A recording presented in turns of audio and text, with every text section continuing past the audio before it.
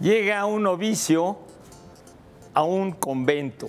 El padre superior lo recibe y lo lleva a su celda y le dice, mira, este es un convento de clausura y de voto de silencio. Tienes derecho cada 10 años a decir dos palabras.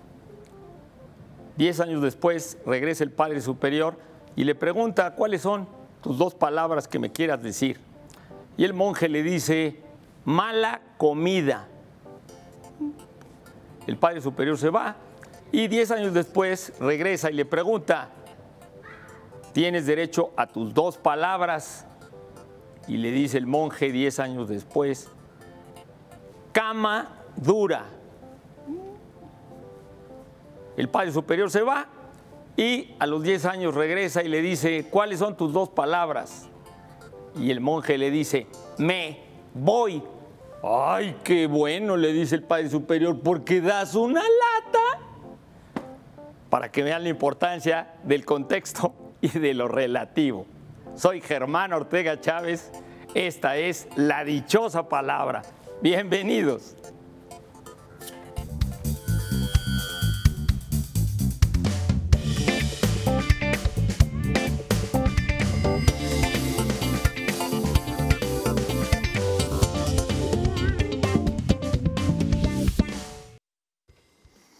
Marcel Duchamp escribió este pequeño texto que se llama Física de equipaje. Calcular la diferencia entre los volúmenes de aire desplazados por una camisa limpia, planchada y doblada y la misma camisa sucia. Piénsenle, bienvenidos. Pedro Salinas eh, fue un poeta de los más representativos, de hecho, de la generación del 27 en España. Estuvo exiliado en Estados Unidos tras la Guerra Civil Española y escribió, entre otras muchas cosas, Underwood Girls, que es la marca de una máquina de escribir. Le daba una personificación a las teclas y eh, hacía una especie de comparación entre la música, el sonido del teclear, que ahora ya mucha gente ya no se acordará o no habrá conocido jamás, pero había una especie como de vals, de música metálica que hacía que todo fuera muy entrañable alrededor de esa máquina de escribir. Escribe así. Quietas, dormidas están las 30 redondas blancas. Entre todas sostienen el mundo. Míralas aquí en su sueño, como nubes, redondas, blancas y dentro destinos de trueno y rayo, destinos de lluvia lenta, de nieve, de viento, signos. Despiértalas con contactos saltarines de dedos rápidos, leves, como a músicas antiguas. Ellas suenan otra música, fantasías de metal, valses duros al dictado. Que se alcen desde siglos todas iguales, distintas como las olas del mar y una gran alma secreta. Que se crean que es carta. La fórmula como siempre. Tú alócate.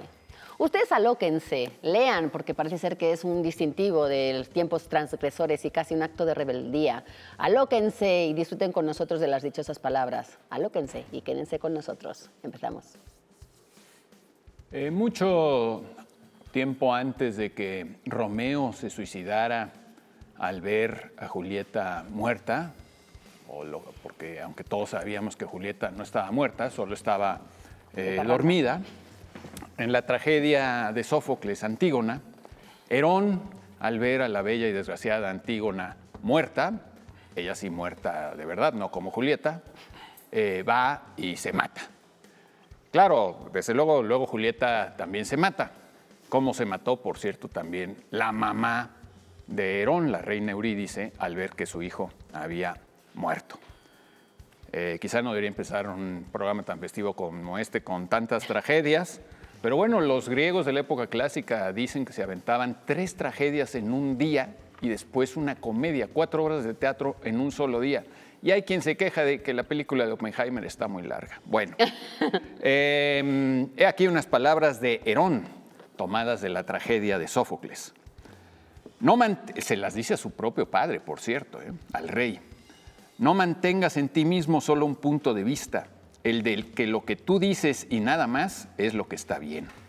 Pues los que creen que únicamente ellos son sensatos o que poseen una lengua o una inteligencia cual ningún otro, estos cuando quedan al descubierto se muestran vacíos.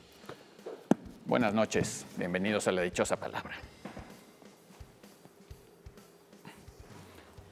Pues eh, vamos, como siempre, iniciando con nuestra pregunta en redes. Pongan atención eh, y échenle imaginación e información a su búsqueda. Se duda que su padre haya sido un gambusino rubio. Álvaro Obregón dio instrucciones para que lo llevaran a vivir a la Ciudad de México. En Sudamérica le dio un sarampión marxista. Se casó con una mujer adinerada y escribió versiones alternativas de algunos mitos. Con su peculiar novela se podría tapar la luz del sol o anunciar la lluvia. Esperamos sus respuestas que ya están llegando, por supuesto. Eh, bueno, nos pregunta Jaque Matt que si podríamos hablar del presente histórico. Tiene mucha historia eso. ¿Eh? Eh, vamos a empezar con gramática, ¿por qué no?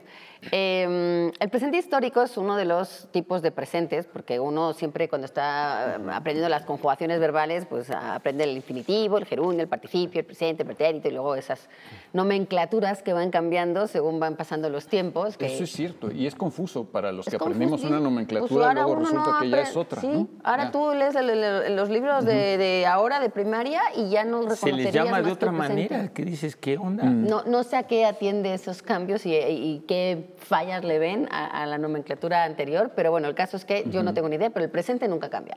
Ahora, el presente hay muchas maneras de, de emplear ese presente. El presente histórico, que es una de ellas, es, es chistoso porque se refiere a un tiempo que justo no es presente. ¿no? Es como ese presente que uno emplea para darle cercanía, para darle la actualidad, para llamar un poco la atención, para sentir las cositas como más, más aquí, ¿no? Y entonces hablan, por ejemplo, de mm, el hombre pisa la luna en 1969. No, pues es pisó, ¿no? Porque ya ahora estamos en 2023, desde 1969. O el muro de Berlín cae en 1989. Siempre son, casi siempre son hechos históricos. Gutenberg imprime el primer libro en 1454. Bla, O sea, bla, bla. pero ¿cuál es la diferencia entre usar el presente histórico y ese pasado simple? Pues sí, eso. hay, es pregunta. No, no, todo es intención, es intencional. Es decir, no- ninguno de los dos es erróneo, ninguno de los dos eh, se puede cuestionar. Tú tienes la libertad de usar los dos y los dos están bien. Así como luego el subjuntivo, el condicional, sí tiene como ciertas normas y sí hay incorrecciones. No sé si hasta el punto de llevar a, a equívocos en cuanto al mensaje o al, ¿no? al, al significado de la frase real, pero en este caso, por ejemplo, pues no hay realmente, o sea, decir el muro de Berlín o no sé, Sí, porque está diciendo en 1989 cae el... Ya, o sea, se entiende que en ese año... Pero fíjate, damos por supuesto que todo el mundo sabe las fechas, aunque la- no las digamos o las digamos, hay ahí implícito que todo el mundo sabe que la pisada del hombre a la luna ya pasó. Sí. ¿no? O sea, aunque no dijeras, por decir, Neil Armstrong pisa la luna con un... Pues es, es un presente ahí raro. Ahora, el presente lo que tiene es muchos usos. Por ejemplo, está el habitual, ¿no? Cuando dices, todos los martes tomo clases de baile. Pues ese es un, digamos que es un, no no es que sea presente, Sí. pero tampoco habría otra manera de decirlo. Bueno, ahí podría decir todos los martes estoy tomando clases de baile, que también que eso hay un gerundio Sí, también un poco raro. raro, pero ninguno de los dos es incorrecto. Ahí no podría decir ni futuro ni pasado, entonces pues solo te queda el presente en ese caso.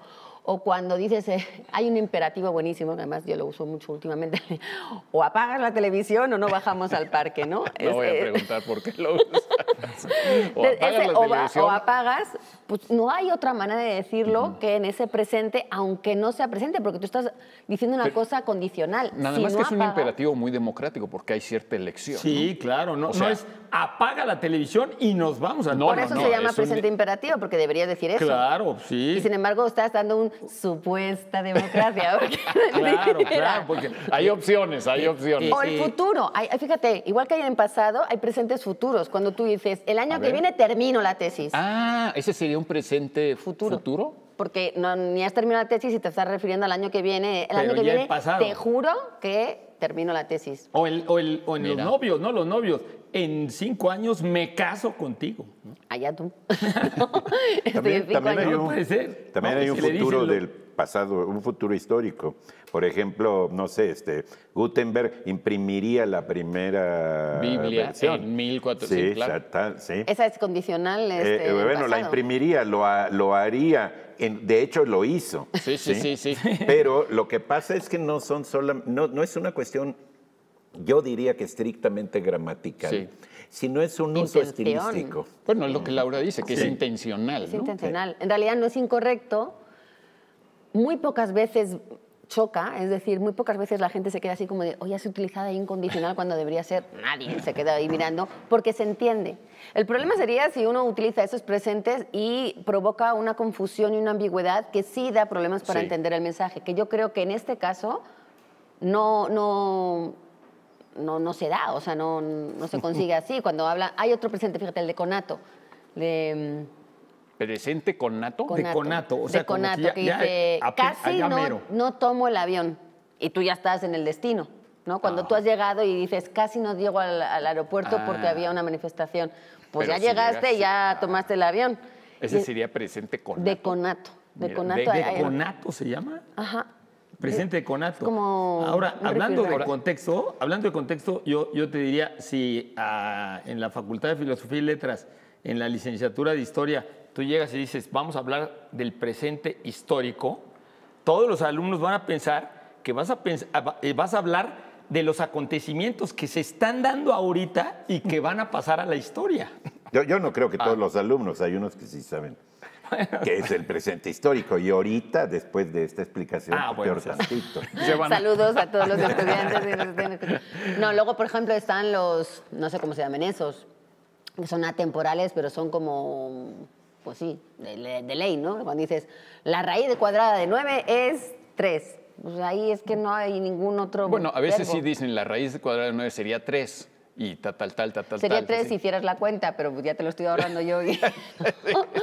o por ejemplo, el- ahora estamos en verano. El otoño empieza el 21 de... Pero es que lo dices como una cosa Sí, de que está ley Como si natural. siempre estuviera empezando el 21. O el invierno empieza en, en diciembre, como que es una Sí. cosa que siempre se repite, ¿no? Bueno, es que podrías decirlo correctamente diciendo, el otoño empezó em- y empezará, a Empezará. menos que estés en el, mi- en el mismo día, en cuyo caso dirías, el otoño empezó, Está empieza empezando. y empezará. Los chapanecos, por 21. ejemplo, les preguntas, ¿quieres café? Y no te dicen sí. Te dicen, quiero. Quiero. Sí. Ah. Es decir, hay Es un una, es presente. una cuestión estilística. Muy bonito. No tiene que ver con el, con el presente, ¿no? Etcétera, pero, pero es un Pero lo estilo. usan, Eso se es bonito. entiende. muy Bueno, bonito. nuestra dichosa palabra del día de hoy. Se dice de quien, a pesar del miedo, permanece sereno, impávido, imperturbable, que nada lo intimida. Palabra esdrújula, cuya etimología significa que no tiembla. Y tenemos para ustedes los Ahora, que para no decirlo en tiempo presente, que no tiemble, que no tiemble. Eso es el de deseo. Sería, el presente de deseo. presente de deseo.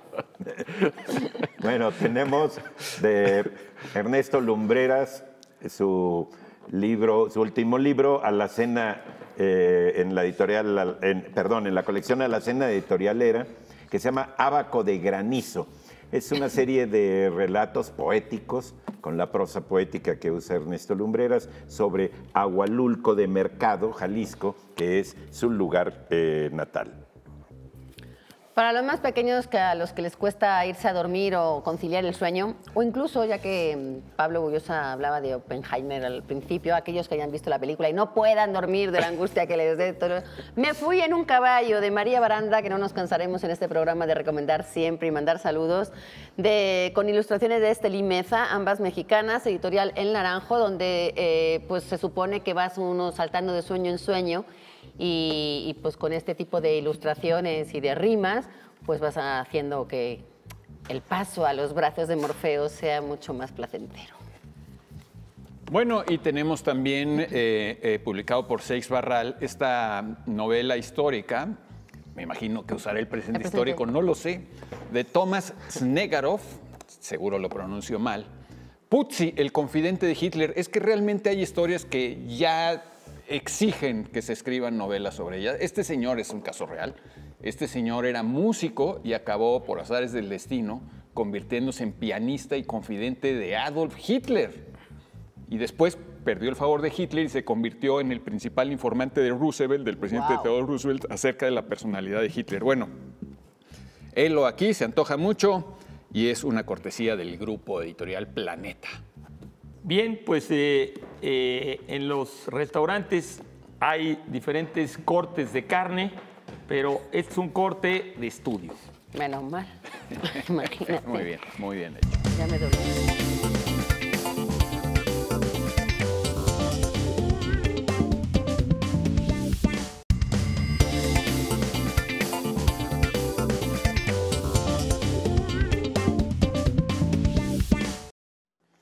Estamos regresando después del corte carnívoro que hicimos Donde estamos todos enteros.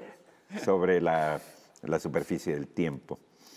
Eh, tenemos una palabra que casi no le entiendo por razones que explicará Pablo, que está preguntada por Gabriela Fernández y pregunta, ¿qué es el analfabetismo funcional?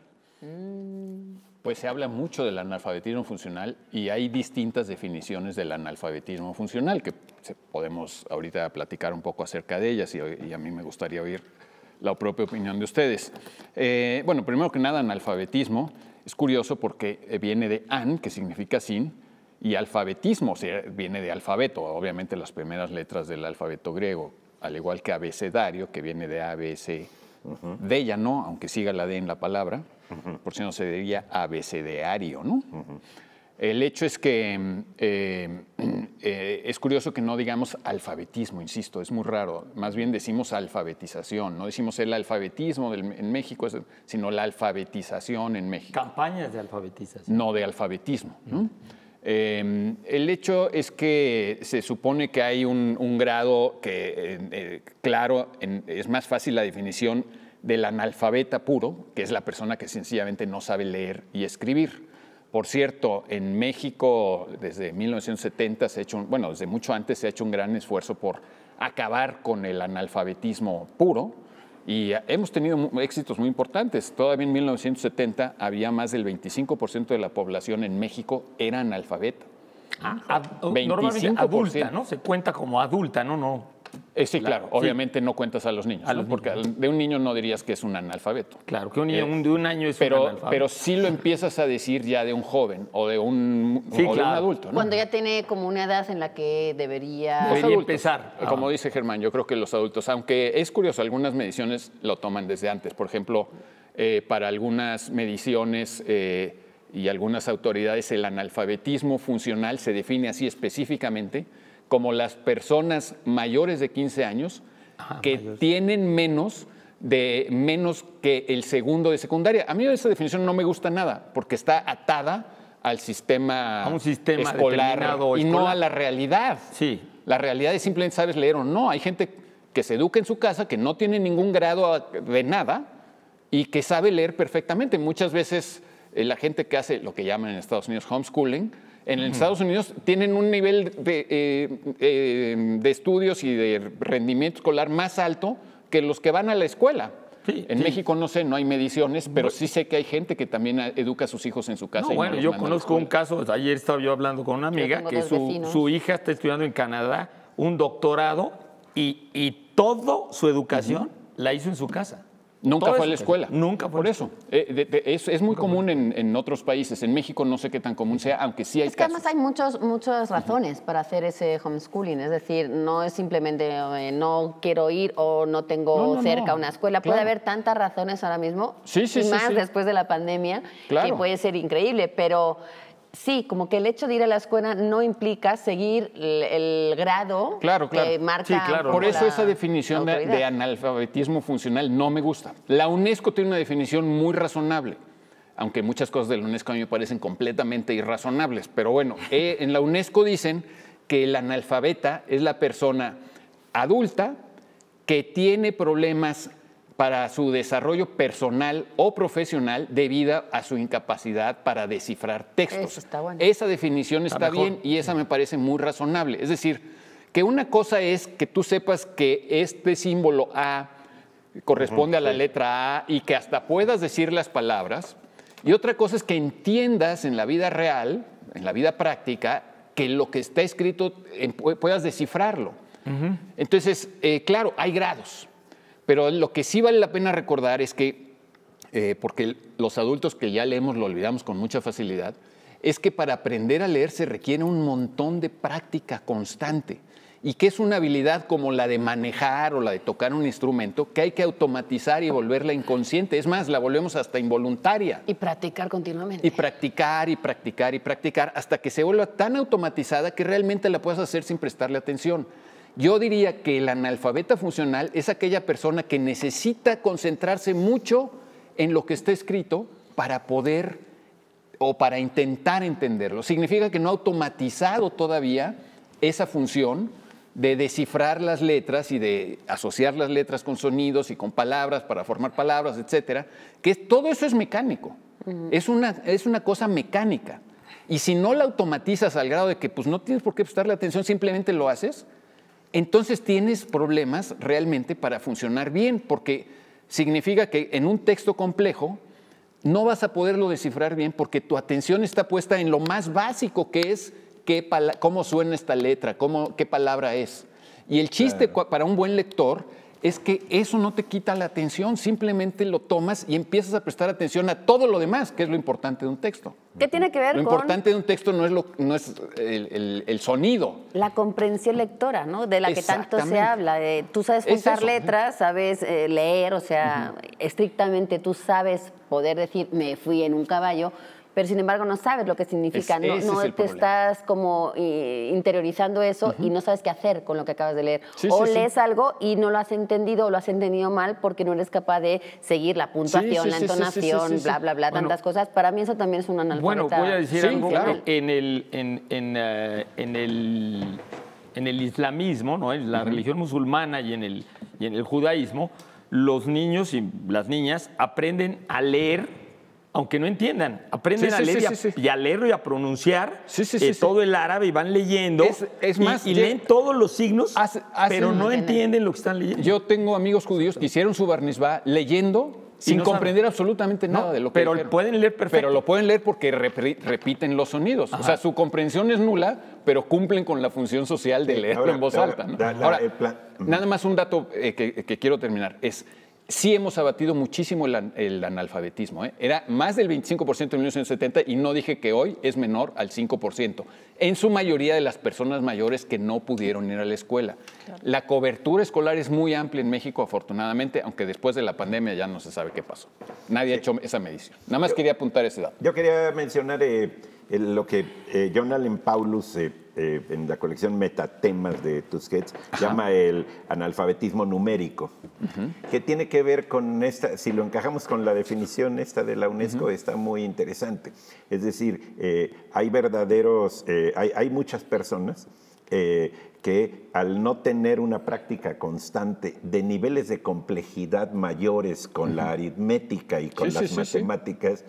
Se van volviendo incapaces de descifrar algo un poquitito más complejo que este, la suma de, no sé, de, de cuántas peras y cuántas manzanas. De lo que Si hay altísimos funcionarios públicos que no saben lo que significa el valor presente de, de una operación, o sea, el conocimiento de las finanzas puede afectar muchísimo, bueno, al- tanto personalmente como a nivel social y gubernamental, Y cómo las- se administran los Y recursos las o las matemáticas empresas. están mucho más eh, presentes y influyentes en nuestro día a día de lo que nosotros creemos. Claro, porque no, hablamos bueno, de todo. logaritmos No, y de pues vas cosas. todos los días haces compras. pues, este, Pero no- Digo, pero pero al margen y de- que es como lo en, básico. en- en muchos más espacios, es decir, este, en el cálculo de, no sé, de esto, Intereses, sí, de la tasa. Es, es decir, eh, pero, pero Ah. hay verdaderos analfabetas numéricos. eh, yo, a mí me da pena que sí soy bastante analfabeto en eso. Sí, sí, sí. eh, que entonces te puedes tragar una gran cantidad de conclusiones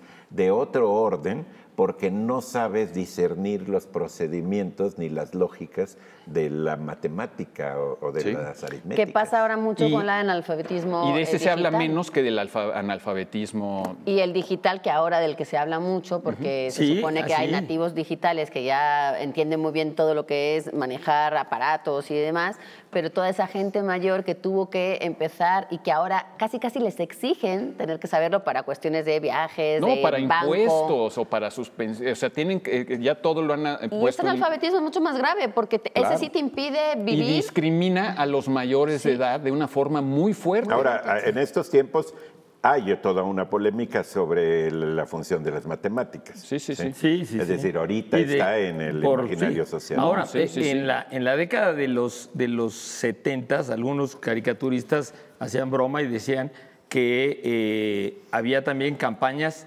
de analfabetización. Bueno, cada quien. campañas Bueno, es que el analfabetismo Bueno, eh, en muchos momentos históricos hay a las autoridades le ha convenido que el pueblo no supiera Claro, leer, eso- porque es una manera también de eh, tener, de cuestionar, de poder exigir de- y de ser más libres, ¿no? El, el poder leer y entender y el poder expresarse es una libertad y un lujo que a muchos gobiernos, sobre todo Sí. tiranos, Ahora, no les en cierto sentido, nunca acabamos de aprender a leer, porque siempre hay textos que demandan de ti más comprensión, digamos, los textos más difíciles. o más especializados. Literarios, ¿no? especializados. No es lo mismo claro. si eres un especialista en, en Biblia. Claro, claro, claro, En claro. Biblia, y entonces vas a leer la Bueno, Biblia muy de corrido. O alguien que, que no sabe nada de, de- de una rama de la medicina y pues olvídate, es un Todos texto somos to- analfabetos en algo, ¿no? Totalmente. Sí, Sí, pero es- ahora... Pero es están- distinto Pero que lo que es distinto, necesitas es para la vida diaria. Sí, pero ahora, por ejemplo, que hay una corriente muy fuerte, creo que ya hemos hablado aquí alguna vez de eso, del lenguaje claro, que es acercar ese derecho que tiene el ciudadano a poder entender ciertas cosas que necesita. Todo el lenguaje administrativo nos ha pasado a todos con el lenguaje jurídico que dices, pues No, aquí pues, esa ley si que ni no la ni siquiera Constitución la cumplir. entendemos. Por eso, y, y- o sea, vivimos en un país se donde la mayoría de la gente no entiende. Es más, donde yo En hay palabras de la portales. Constitución que no entiendo. Sí, y, y luego Bueno, dices, ve con un mi vida. Para este Ve con un notario, no, vas a pues ver que luego no entiendes ni qué escribieron. No, bueno, sí. Bueno, hay mucho analfabetismo y estamos muy preocupados, a pesar de que ahora hay ahora menos del 5% en leer. Sí, de de- pero hablaba del analfabetismo Sí, puro. ¿eh? El sí. analfabetismo funcional, algunos lo calculan hasta en el 80%. Es Vamos maravilloso. Otros en el a- treinta y a- tantos A, bajar el índice de eso. Va a ver, Este, ¿cómo? quién Contribuyamos le a eso. atina a la dichosa palabra Contribuyamos a con esta definición. Se dice de quien, a pesar del miedo, permanece sereno, impávido, imperturbable, que nada lo intimida. Palabra esdrújula cuya etimología significa que no tiembla. Tenemos. Me hiciste temblar con tu definición.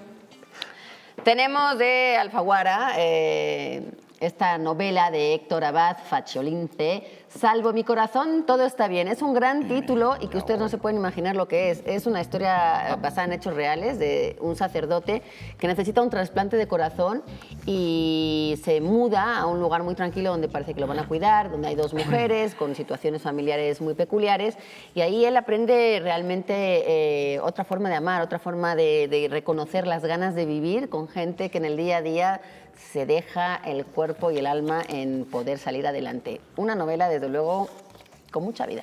Por cierto, está, el título es un verso de Eduardo Carranza, yo he dicho más de una vez aquí ese soneto, que es muy bonito, que termina con todo está bien, salvo mi corazón, todo está bien. Es un soneto precioso, Eduardo Carranza, búsquenlo. Tenemos también ejemplares de La guerra de los hermanos Ignime y Manyaoyo, a lo mejor lo estoy diciendo mal, de Margo Glantz, con ilustraciones de GM Meave. Es una publicación de Sidley, es decir, que está muy, muy bien hecho, muy bonito y dirigido a todo público, incluyendo al público infantil. Claro que sí. Bien, y tenemos para ustedes este cómic de ciencia, Murciélagos aprendiendo a volar, de Fallen Koch. Eh, un libro eh, eh, realmente que se antoja leer, se ve muy simpático, el ilustrador y el que escribe es el mismo, está presentado por Rob Mies, experto en murciélagos, se llamarán quiropterólogos seguramente, fundador de la Organización para la Conservación de los Murciélagos. Un, un libro para que sepamos quiénes son los murciélagos, los cuidemos y mandamos también felicitar a Rodrigo Medellín, el, el experto en murciélagos, el hombre murciélago mexicano eh, que lucha también por la conservación de estos maravillosos animales. Y que tiene un documental en Netflix. Sí, que sí, sí. ahora. Un documental. Además, eh, eh, los, es- los que estaban preocupados eran los productores de agave, porque los murciélagos son los que ayudan a polinizar Claro, los agaves. a poli- Y contrataron a Rodrigo para ver qué estaba pasando cuando disminuían quieren las poblaciones. de- polinizarlos. Cuando Bueno, po- pues- disminuyeron las poblaciones de, de murciélagos, perdón. Nosotros ya nos vamos porque estamos no entendiéndonos entre nosotros, necesitamos meditar un poquito. Al- un alfabetismo.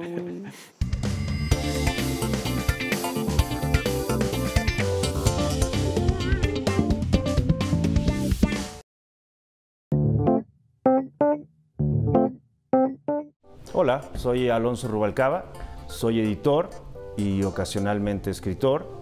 Edito la revista Hoja Santa, una revista que nació en el año 2013 eh, como revista impresa y en el año 2017 tuvo que pasar a digital. La revista está disfrazada de ser una revista de comida, pero en realidad es una revista de empatía para pensar en los demás una revista que, que no piensa que la comida es para compartir, pero sí que el campo y el cielo y el mar son materia que compartimos todos los seres humanos. Esa es como su, espina dorsal de la revista. Y agrega en eso comida. Hay recetas y hay, ensayos sobre comida y, un newsletter sobre comida. Mi palabra de editor es esculpir. Ah, he pensado mucho que, durante mucho tiempo he pensado que el editor se, parece al escultor que alcanza a ver un texto que está escondido ahí, como un escultor o una escultora puede ver dentro de una piedra una escultura. Le- la va rascando, le va quitando todo lo que no es escultura y encuentra la, pieza que estaba ahí adentro y la muestra. Eso es algo muy parecido al trabajo que hace un editor o una editora, ¿no? Dentro del, dentro del texto que entregan los escritores, hay un texto verdadero que el editor encuentra y limpia y, lo muestra. Y e- e- es, el editor es el coautor, coescultor de, de esa pieza. Hola, soy Alonso Rubalcaba, editor en Hoja Santa. Mi palabra de editor fue esculpir y aprovecho para mandar un saludo a la dichosa palabra. Muchísimas gracias, Alonso. Bien sabrosa esa, esa revista, desde luego. Sabe comer muy bien en esa redacción. Y qué bonito lo de ver una escultura dentro de los textos. Seguro Oye, a más de Lau, uno le va a cambiar la perspectiva. Perdón, es que acabo de ver que nos ponen ya una X bien rara sí, ahí pues en el- sí. Sí, ya estamos en el mundo X, Ah, sí. ¿No? No sabía bien. ¿Tú no has entrado en Twitter últimamente? ¿Ya Twitter se llama X? Sí, bueno, el logo. Bueno, en el corte le vamos a aplicar a Pablo lo que ha pasado el último mes, que no ha estado muy en la tierra. Discúlpame, discúlpame. Ubicas un Oh, Elon no, no, Musk. ya, sí, no quiero interrumpir. Vámonos, vámonos. Bien X estamos aquí. Muchos dicen, el otro día le leía a Antonio Artuño que ahora eh, tanto hablar de la twitteratura y ahora eh, se ha convertido todo en escritores X. Mira. Entiéndase como se quiera entender. Hablábamos antes del analfabetismo funcional y llegó esta pregunta que creo que justo tiene que estar en este bloque después de hablar de esto. Juanita MX dice que ¿por qué se dice que es tan difícil el Ulises de Joyce? Me encanta que dice se dice. No sé si a ella le ha, le ha- le ha costado o no. Dícese. Dícese de que, de, de que Ulises es difícil. ¿Es difícil, señor Sí, sí, es- maestro? Sí, es difícil. Sí, sí, es difícil. Como no hay distintas traducciones, yo leí la de eh, José Salas Subirat, que se publicó en Santiago Rueda, eh, una traducción este, sudamericana. Eh, es una novela, es un novelón en términos físicos, novelón. ¿sí? Eh, porque es muy grande. eh, pero es una novela que, que, eh, sí tiene grandes dificultades para ser leída. A mí no me costó tanto porque la fui leyendo y porque tenía que leerla. Bueno, y porque Eh, tú has leído muchísimo, o sea, tienes no, una, no, no, para- pero en esas épocas no había leído tanto. O sea, sí me agarró como si hubiera ¿A yo edad? tenido que, este, bueno, eh, tenía yo este como, como 19 años o 20. Ah, no, pues sí, No, pues sí. Y eh, eh, es muy difícil porque hay muchísimos juegos verbales. eh, sobre, sobre el Ulises se ha escrito mucho, se han escrito incluso guías.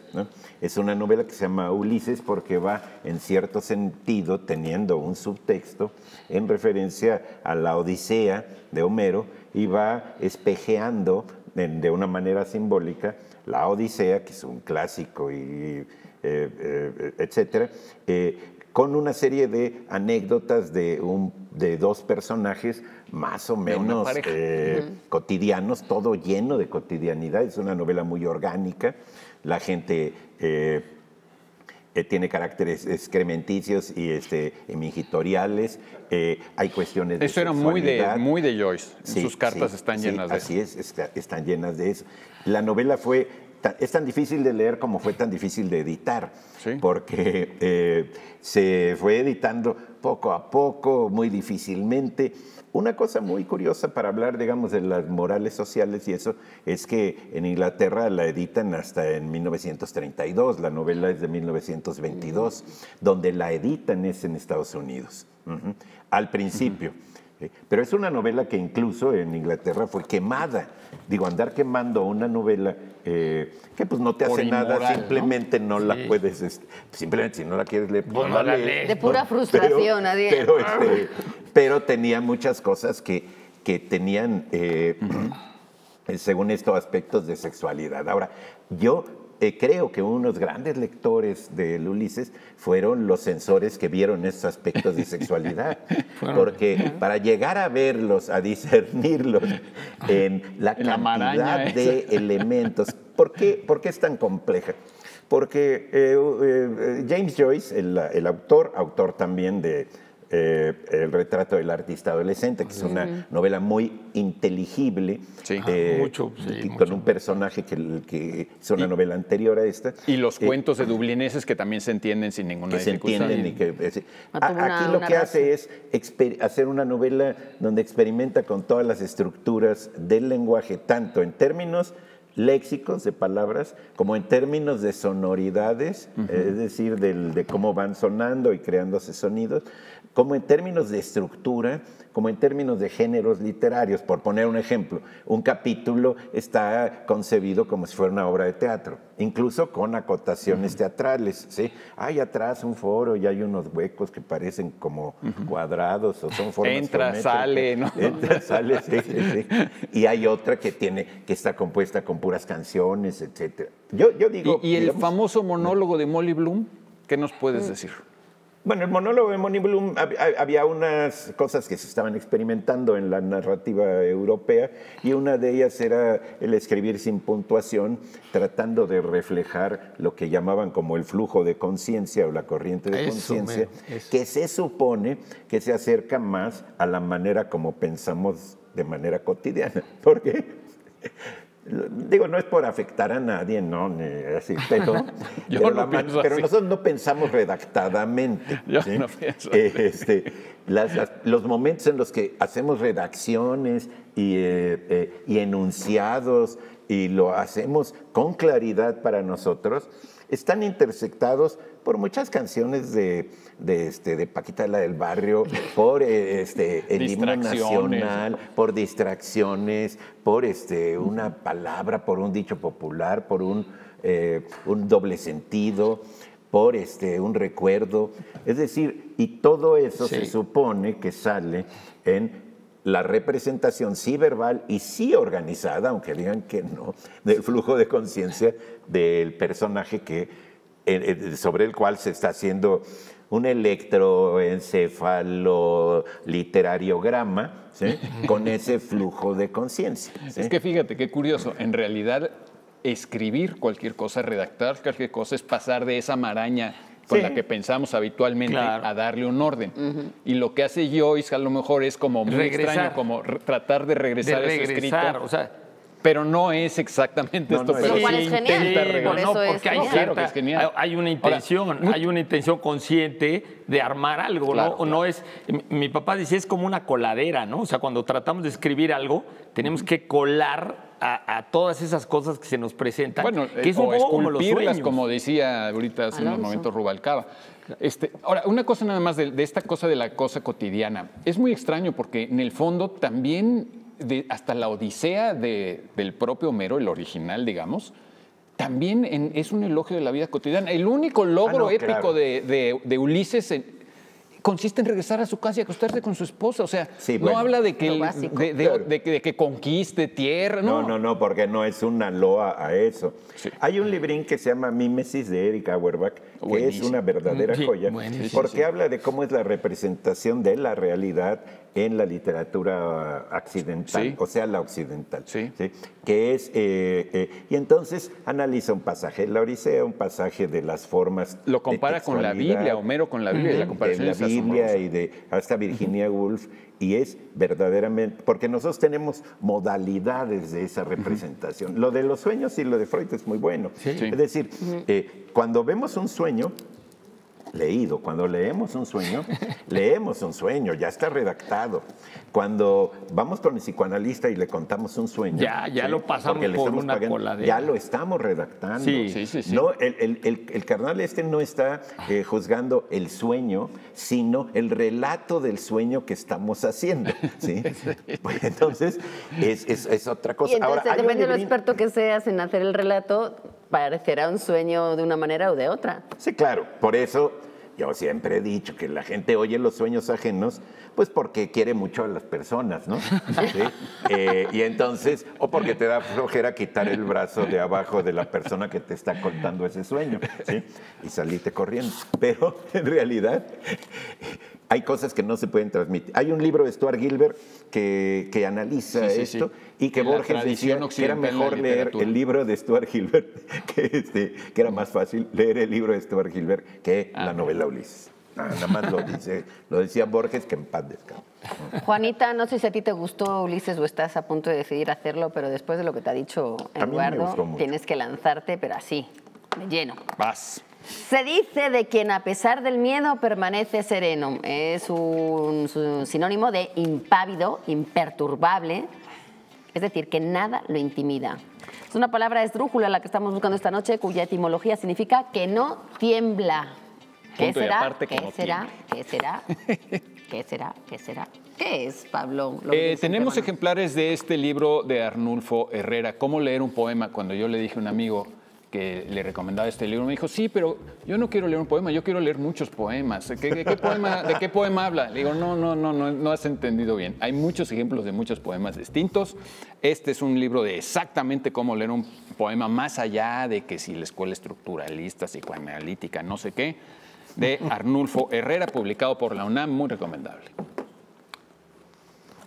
Y para ustedes este libro que verdaderamente se ve fabuloso, que ya quisiera yo estarlo leyendo, eh, eh, publicado por el, el colegio, el Colegio de México, de, eh, aquí dicen, cuatro de los más grandes, yo diría casi los más grandes especialistas en este tema. La Iglesia Católica en México de don Antonio Rubial, maestro, felicidades y siempre mi reconocimiento fue mi maestro.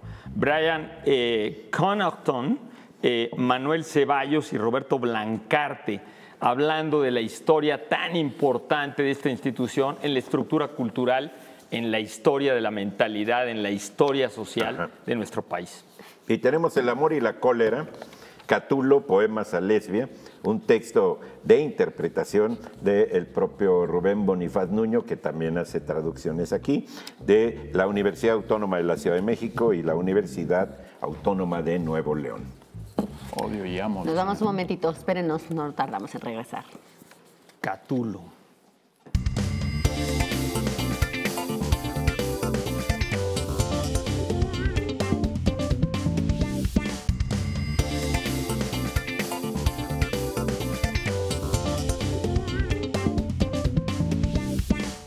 Vámonos rápidamente con otra pregunta de nuestro culto público. Eh, Contreras Mahari nos pide que hablemos de Leviatán y otros monstruos marinos mitológicos. No de otros ma- monstruos marinos no mitológicos, sino de los mitológicos.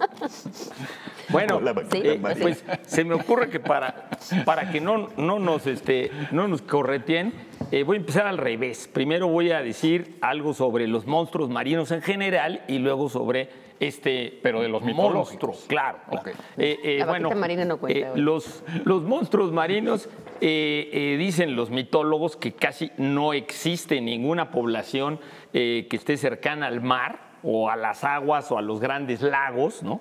Eh, eh, que no tenga un imaginario acerca de un monstruo marino, un monstruo marino que prácticamente pues iríamos ya diciendo que los monstruos marinos pues, se identifican simbólicamente mucho con el mismo mar, ¿no? O sea, el mismo mar es un monstruo marino, ¿no? El mismo mar. ¿no? Claro. De hecho, eh, eh, empezando, eh, los griegos decían que justamente Oceanus, ¿no? Oceanus, de donde viene la palabra océano, era precisamente esta serpiente que luego ya en la época helenística le llamaron Ouroboros, ¿no? que se muerde la cola y que rodea el disco de la tierra y que es el mar mismo, ¿no? Y que los mismos griegos dijeron que Oceanus era el mismo que Ofión, de donde viene la palabra ofidio, lo cual ya nos estamos imaginando una gran serpiente, y también eh, que era Hermes, que era una forma del dios Hermes, o sea, el mismo mar es Hermes, ¿no? Esta idea de un monstruo que rodea la Tierra lo tenemos en muchas mitologías. Por ejemplo, eh, eh, Jormungandr, ¿no? Este, este monstruo germánico, ¿no? Los, los vikingos los- también hablaban exactamente de esta serpiente gigantesca del fin del mundo y que iba a Es destruir que el mundo. Cuando estás en un barco en alta mar, sí te puede dar la impresión de que es una serpiente, Exacto. de que estás encima de una serpiente por cómo se mueven las Yo olas. Las olas, se mueven como un una. La, la, la, la- La- el, el el- oleaje te da la te da esa sensación impresión de la serpiente. Te da la sensación de la Sí, sí, sí, serpiente. es una analogía marinas, muy comprensible. pues hay por todos lados y en todas las mitologías, ¿no? Eh, ahora, Aparte eh, del peligro del mar, que también las serpientes son peligrosísimas. Claro, y las serpientes, pues bueno, evidentemente las serpientes están conectadas con los dragones, ¿no? Con los dragones. Entonces, pues también en las mitologías hay dragones marinos, ¿no? En la mitología japonesa hay un gran dios del mar, eh, eh, un gran dios del mar, Ryogen, ¿no? Que, eh, que es el mar mismo también y el poder del mar pero que no es nada más negativo, ¿no? Como en otras mitologías, sino también es positivo, o sea, que le piden los campesinos a ese dios y el shintoísmo lo sigue incluyendo. Y por supuesto, eh, eh, también el famoso kraken, también en la mitología Ah, sí. nórdica, que es, es un pulpo o una especie de calamar gigante que luego decían que hay calamares de, de quién sabe cuántos metros, Ah, no, ¿no? sí, hay Reales, los ¿no? calamares gigantes y hace no mucho todavía sacaron uno que pensaban que Claro, el- que, que- que- eran tremendos, ¿no? Entonces, eh, eh, ahora también tenemos, por supuesto, eh, mitológicos, podríamos decir, el, el mismo monstruo que le da nombre a todo un grupo de cuentos de Lovecraft que se llama Tulu, ¿no? Tulu es un monstruo marino que tiene alas, ¿no? Pero es un monstruo del mar terrorífico, ¿no? Que tiene, por cierto, tentáculos en la cabeza y que lo copiaron para Davy Jones en la pirata, los Piratas del Caribe. Se inspiraron ahí en ese, en ese monstruo marino, ¿no?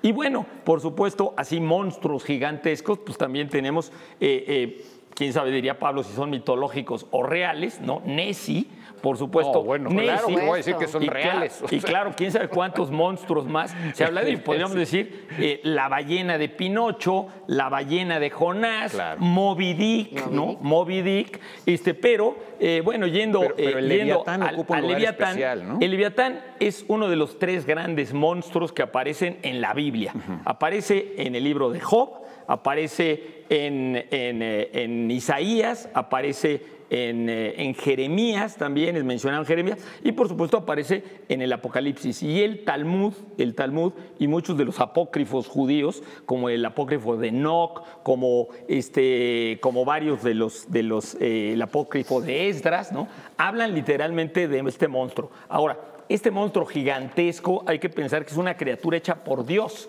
no es un enemigo, eh, no es hecho por un enemigo. ¿Qué quiere decir? Que aunque es terrible y muy peligroso, Dios se le revela un poco a Dios, pero Dios sabe que no tiene problema en dominarlo y que al final del tiempo no se sabe, si al final del tiempo no queda claro, lo va a destruir o, eh, o lo va a dejar vivir durante un tiempo. Ahora, el nombre de este monstruo, ¿no? el nombre de este monstruo y las asociaciones de este monstruo en la literatura hebrea están muy conectados con la literatura babilónica y por supuesto se ve muchos paralelismos con el monstruo mitológico babilónico que es Tiamat, ¿no? esta gran serpiente babilónica, o también con la serpiente egipcia Apopis, ¿no? O sea, que están relacionadas con el desorden, ¿no? Son monstruos que Dios hizo, se supone, Leviatán, Rahab, ¿no? A veces se identifica al Leviatán con Rahab, que siempre son monstruos marinos, con, y también se ponen con un monstruo terrestre que es Behemoth. Pero, pero qué raro que se asocien con el desorden cuando Thomas Hobbes justamente lo asocia con el orden. Con, un orden terrible. Con un Thomas orden. Hobbes en el Leviatán, que Claro, es el libro con un más or- famoso orden, pero yo, eh, ahí, bueno, habría mucho que pensar ahí, pero eh, eh, Hobbes un poco lo que quiere decir es que es un monstruo. Claro. Es un monstruo pero y que impone gigante. uno- que impone el orden. O Pero sea, que siempre impone- que haya orden. Claro. Porque cuando te- escribe el Leviatán, pone Thomas Hobbes, es que es un libro escrito a, a raíz de los desórdenes o de los disturbios Claro. que hubo en las guerras civiles de Inglaterra. Por eso él decía, el orden es mejor que todo ese caos que pasamos. Sí, que ahora la- eh, lo interesante es que eh, en los libros hebreos se dice que Leviatán es hembra, es hembra, y que Behemoth es macho. Entonces, Leviatán a veces se describe, porque pues, es un monstruo, eh, se describe que tiene varias cabezas, ¿no? En el libro de Job en, eh, se habla que tiene siete cabezas, y Las luego en el serpientes a Apocalipsis... veces se representan con más de una Sí. cabeza y por cierto es bien difícil saber si son Hay macho un, o hay un Claro. grabado de Doré, ¿no? ¿Eh? Hay muchos grabados de Doré eh, sobre la Biblia Ahora, también. hay un monstruo pero como, en el mar también. Bueno, y la, es- la estatua esta de la Hay Oconte monstruos famosa, en el ¿no? mar, porque sí es cierto eso de que es el propio mar, que no son este, grandes. ¿No has pisado nunca un erizo? Es monstruito. Sí, es- pero son, son monstruitos, pero eh, eh, No, bueno, el- y las criaturas marinas, las criaturas marinas pueden ser realmente, o sea, Sí. asombrosas. No puedes creer que eso sea un ser vivo real. Ahora, Claro, no, todas, claro, no son- todas son dañinas en cuanto a que nadie ha estado en contacto con ellas, sino el propio miedo que provocan es el que te paraliza y el que puede hacer tomarte decisiones cerradas. Bueno, las realidad, serpientes yo creo que, sí hay que es sano tenerles miedo. ¿eh? No, por supuesto, y a todos estos eh, monstruos que acabas de citar, aunque uno no los haya visto ni haya entrado en contacto con ellos, el simple hecho de imaginar su existencia y el imaginarse lo que te pueden salir ahí al paso, eso ya de por sí les convierte en monstruosos. En- en- ahora, en los, en los libros, en los libros, este, eh, eh, digamos que el Talmud cita y en los Midrash y todo, eh, hay a veces Leviatán es específicamente el río Éufrates, lo cual se cree que está relacionándose con Babilonia, o sea, como el río de los, que es un río monstruoso de los babilonios, o como el río Tigris de los asirios, o como el Nilo, ¿no? La gran serpiente del Nilo. Y eh, ahora, el- el- lo chistoso del nombre es que muchos han especulado que el nombre Leví, de la tribu de Leví, el, el tercer hijo de, de Jacob, de las doce tribus, el tercer hijo de Jacob, que se llama Leví, de donde vienen los levitas, los, los eh, digamos, los se encargaron del sacerdocio no la durante mucho levita. tiempo. No viene de ahí la levita, nada más quería decir. La, la levita no viene de ahí. La levita los no viene de que los levitas, eh, que no lo sé, ¿eh? no, no sé Bueno, si la levita venga de los, de, de los sacerdotes, pero lo chistoso es que como era un monstruo, se dice que probablemente como el judaísmo viene de un politeísmo, que a lo mejor el nombre de los levitas viene de que eran los servidores de Leviatán. Y eso algunos lo han propuesto y algunos no lo aceptan, pero se me hace Bueno, es que digamos lo Que que ya es claro- vayamos a la- Ah, no, no había oído, perdón. Sí, vamos a la dichosa. Bueno, eh, vámonos rápidamente a la dichosa pregunta que formulábamos hoy, una pregunta cerrada. Se duda que su padre haya sido un gambusino rubio, aunque él mismo lo afirmaba. ¿eh? Álvaro Obregón dio instrucciones para que lo llevaran a vivir a la Ciudad de México cuando él era un muchacho. En Sudamérica le dio un sarampión marxista, la expresión es de él mismo. Se casó con una mujer adinerada, eso es un hecho, y escribió versiones alternativas de algunos mitos como el libro de Ruth y Sinbad el Varado, de quien ya hablábamos aquí hace un tiempo. Con su peculiar novela se podría tapar la luz del sol o anunciar la lluvia. ¿Por qué? Porque escribió novela como nube. La respuesta era Gilberto Owen. Damos por bueno también Gilberto Estrada, si alguien lo puso así. Eh, dichosa palabra de esta noche se dice de quien a pesar del miedo permanece sereno, impávido, imperturbable, que nada lo intimida. Palabra esdrújula cuya etimología significa que no tiembla. La respuesta es impertérrito. ¿Es o era la? Y ya no sé si es presente histórico lo que estoy Según lo Sería, que la quieras respuesta este, sería. provocar en el, en el público hoy. Muy bien, que- impertérritos, ojalá permanezcan así y que no tiemble, no, no. Adiós.